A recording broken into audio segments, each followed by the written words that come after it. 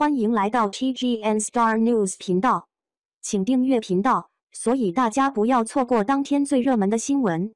我们今天的时事通讯包括以下内容：王一博新片场次少，粉丝给影院打电话求排片，带头攻击同时期影片。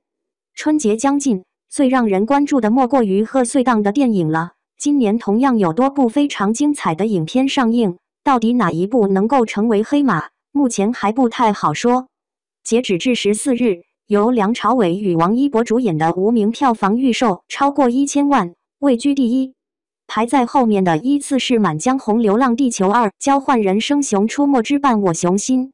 能够看到王一博和梁朝伟主演的《无名》排片并不理想，总场次只有一点九万，因此有网友在替《无名》鸣不平。《无名》能够有这么好的预售票房。很大一部分来自于王一博的粉丝。当然，现在的成绩只是预售，后来到底哪部影片会成为黑马，谁都没办法去预料。王一博的粉丝为了帮哥哥撑票房，甚至打电话给多个影院，并强调下午、晚上要看《无名》。他们这样做的目的，就是为了给这部电影争取更多排片。下午和晚上都是黄金档，因为很大一部分观众。都会选择这个时间段去观影。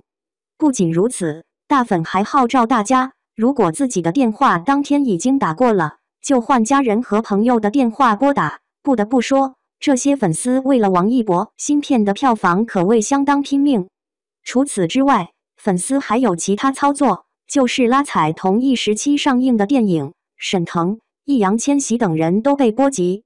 更离谱的是。有些人甚至把看电影说成了脱单派对，这样的骚操作，粉丝居然能够想出来，也是相当厉害了。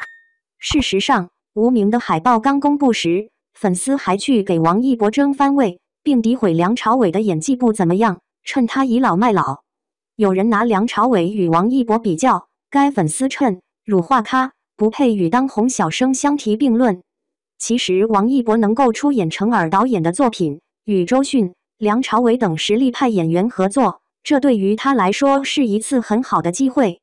虽说王一博的演技比较稚嫩，但这也是他证明自己实力的时刻。而一些粉丝用这样的操作，不但不会给自家哥哥的电影带来票房，相反还会给王一博招黑。贺岁档的票房注重的是口碑，如果电影精彩好看，就算排片场次少，一样会有很多观众去看。如果这部剧电影的口碑差，无论场次多高，同样会被别人超越。希望王一博的某些粉丝还是消停一点吧。对此你怎么看呢？感谢您观看视频，请订阅我们的频道以支持我们。